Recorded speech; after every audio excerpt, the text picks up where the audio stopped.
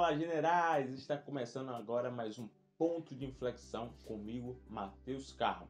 Então, como é que foi a semana de vocês? Como é que foi o dia de vocês? Fala generais! Está começando agora mais um ponto de inflexão comigo, Matheus Carmo. E aí, como é que vocês estão? Eu espero que vocês estejam maravilhosamente bem que vocês tenham uma semana com boas notícias para você e para sua família. Vamos à palavra de Deus. O tema de hoje é o seguinte: promessas. Promessas de Deus para cada um de nós. Isso mesmo. Vamos lá.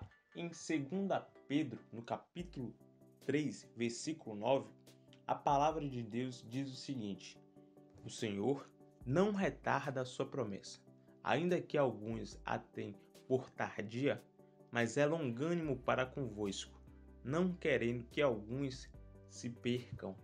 Olha bem, Deus não quer que você se perca no caminho.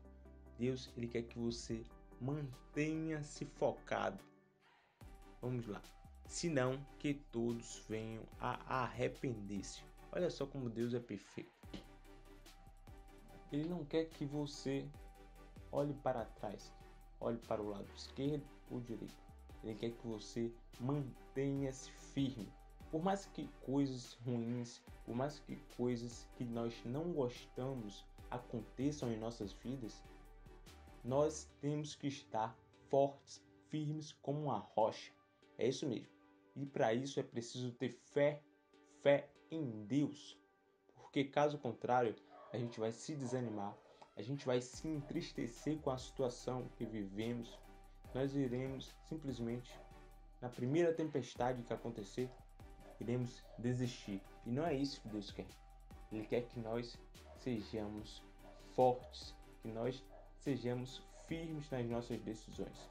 Mas, primeiramente, Ele quer que nós confiemos nele. Pois é isso que eu te digo agora. Confie mais em Deus. Confie nas promessas que Deus tem para você.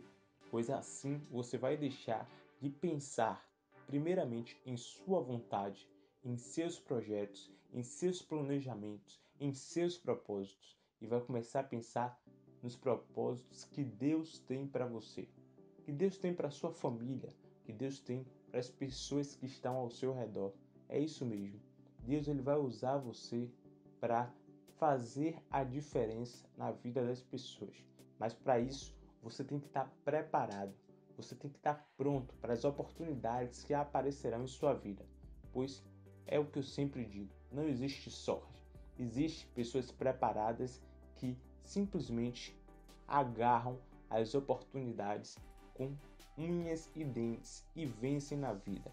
É por isso que eu digo a você: por mais que você planeje tudo da forma que para você seja perfeita, ah, eu vou me formar em tal curso, eu vou entrar para tal empresa, vou ter dois filhos, vou ter três filhos, vou ter uma casa linda. Não adianta você planejar tudo isso sem primeiramente colocar o seu joelho no chão e perguntar se é essa a vontade de Deus, se é esse o propósito de Deus para a tua vida. Porque caso contrário, você vai ser uma pessoa frustrada simplesmente porque você não sabe qual é o seu propósito na Terra não sabe quais são as promessas de Deus para a tua vida. Então, seja mais consciente e não queira o controle da sua vida somente para você. Entregue o controle da sua vida para Deus e assim você vai viver a cada dia o seu próprio dia, como diz nas Escrituras. Não vamos nos preocupar com o futuro, nós não vamos nos preocupar com o dia de amanhã, sendo que nós não estamos vivendo hoje, nós não estamos vivendo agora.